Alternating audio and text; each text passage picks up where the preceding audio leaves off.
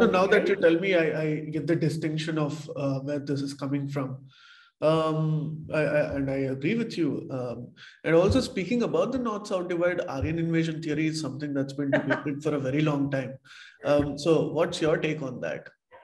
Well, it's a very unscientific theory. Right. Uh, in fact, uh, while uh, researching for Avishi, I went through a lot of papers.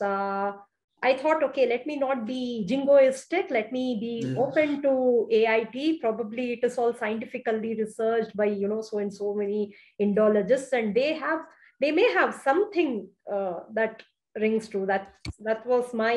Uh, I try. I really you know approached it with a very open mind. Uh, and started reading about uh, this one because Vishpala's story is a very old story.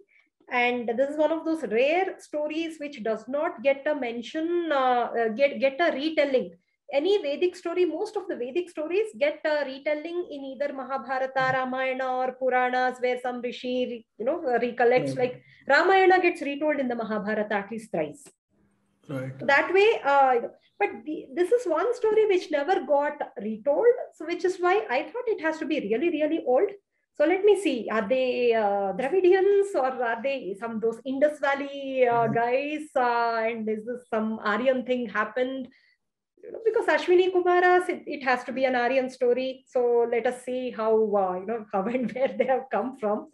Yeah. you know have they invaded india? So i started reading and uh, there was one paper about uh, what establishes invasion.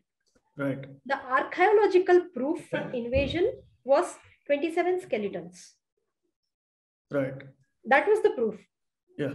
on which the whole invasion Entire theory Aryan invasion theory is based. right Okay. 27 skeletons is not a pr- proof for an invasion you know it it may be a proof Yeah. for a, say a drought or something like that or people migrated from that Yeah. place and whoever could not travel were probably left along or uh, you know maybe they were criminals or something and uh, you know that uh, people uh, punished them so they were left there could be a hundred explanations but 27 skeletons is not a scientific proof for an Yeah. invasion right Yeah, uh, And- because you're talking about a mass migration, right? Which involves Exactly. thousands and thousands of uh, people. Exactly. And the sources of those papers were also so, uh, you know, put together in such a hodgepodge manner.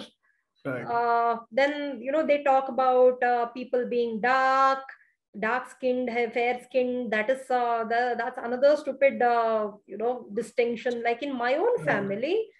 Family, I have a family member who was uh, born and uh, was who, who lived in Mumbai for very Yeah. long Yeah. and uh, you know they also lived in uh, various parts of north india and he's really fair his own Mhm. brother who lived in chennai all life is a lot of Of course, shades I darker agree than with you. yeah. Please remember to subscribe to us and switch on the notifications for this channel. For our other social media links, more content, and to support our work, please visit citti.net. Dhanyavad. Namaskar.